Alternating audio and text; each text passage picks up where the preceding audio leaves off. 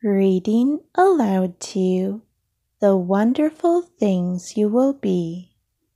Written and illustrated by Emily Winfield Martin. When I look at you and you look at me, I wonder what wonderful things you will be. When you were too small to tell me hello, I knew you were someone I wanted to know. For all of your tininess couldn't disguise a heart so enormous and wild and wise. This is the first time there's ever been you. So I wonder what wonderful things you will do. Will you stand up for good by saving the day? Or play a song only you know how to play? Will you tell a story that only you know?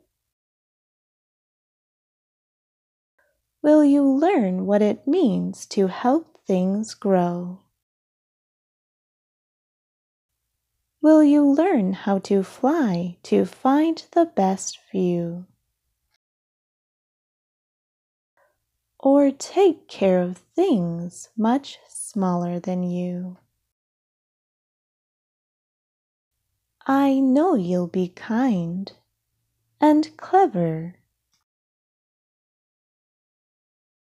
and bold. And the bigger your heart, the more it will hold. When nights are black, when days are gray, you'll be brave and be bright so no shadows can stay. Then you will discover all there is to see and become anybody that you'd like to be.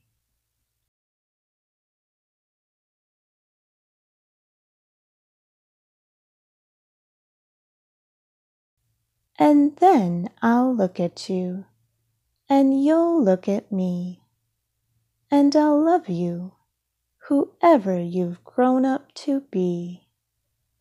The end. I hope you enjoyed this book. For more stories, please don't forget to subscribe. Thank you and have a lovely day.